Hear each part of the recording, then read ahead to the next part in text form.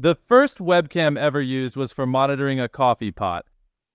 It was set up in 1991 by computer scientists at Cambridge. They wanted to see when the coffee was ready.